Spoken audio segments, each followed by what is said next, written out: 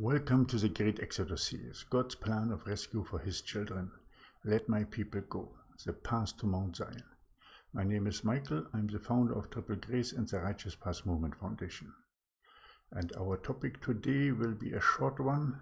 Today we will talk about how to start to become a follower of the path. Let me switch right away to the document so that you can see it. We have it on our website, triple-grace.com. How to start with Triple Grace and to become a follower of the path. Change your life from the world to the Lord. The first step on your new path to Mount Zion. First, establish a society of the rose in your neighborhood by coming together with as many as 50 believers who are walking in faith and are willing to support one another and to lift up the needy and poor.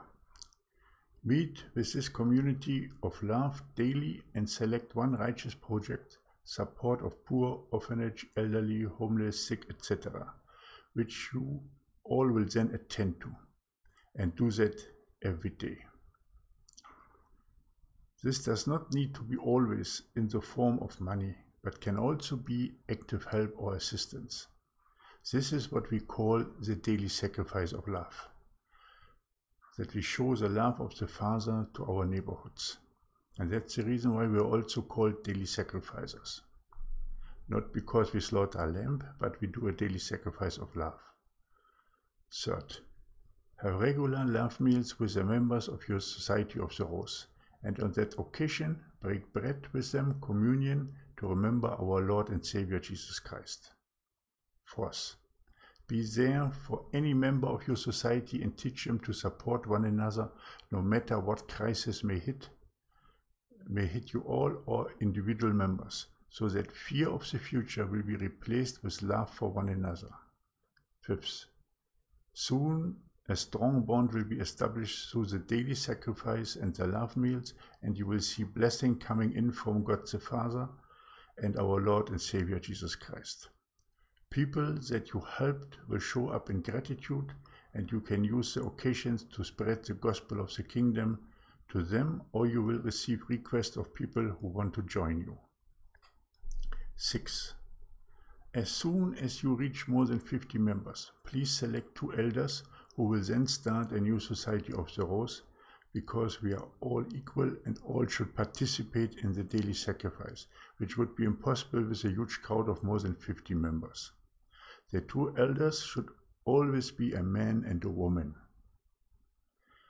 Seventh, during your daily meetings and love meals, select members to speak about their walk with the Lord, about miracles, experiences, problems encountered during the daily sacrifice, dreams and vision, and spread the gospel of the kingdom to newcomers. The aim is to build a spiritual community that is active for all to see, doing acts of loving kindness in the name of the Father daily, but also supporting one another by helping through difficult times in the manner you read of in the book of Acts in the Bible. Having all in common, sharing resources, shining the light into the darkness, and setting an example of love for all to see. These societies of the rose should act outside of the world. No greed, no egoism, no hatred no power lust, and no self righteousness, and instead come together in love, unity, and support for all to see. The result will be that your environment will change and your mind will shift from the worldly desires to heavenly gifts. Try it, and the Lord will help you with miracles and wonders on your new path. If you have further questions about how to start, you can easily reach out to us at triplegrace55 at gmail.com. All are welcome. Come as you are and walk with us the narrow path to Mount Zion in the great Exodus. Come together in love, unity, and support.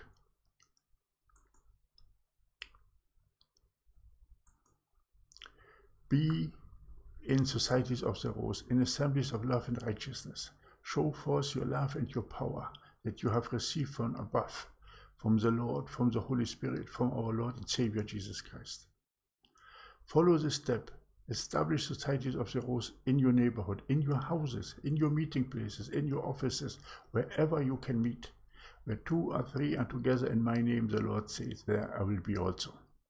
Now it's a time to come forward. Now it's a time to shine forth. Follow the steps and you will see wonders and miracles happen to you. Now you know how to start to become a follower of the path. It's very simple. Does not re require much does not require anything financially. You can make it in your house. Just gather the people together. And by gathering the people together in your society of souls, you're already bringing in the harvest into the barn of the Lord. I hope this makes it now clearly, clearly. I will put the link to this document on our website in the first pinned comment. Thank you that you have listened to this topic, and I hope I will see you again tomorrow for another interesting teaching. My name is Michael. I'm the founder of Triple Grace and the Righteous Path Movement Foundation. May God bless you and your family abundantly. Have a nice day. Maranatha.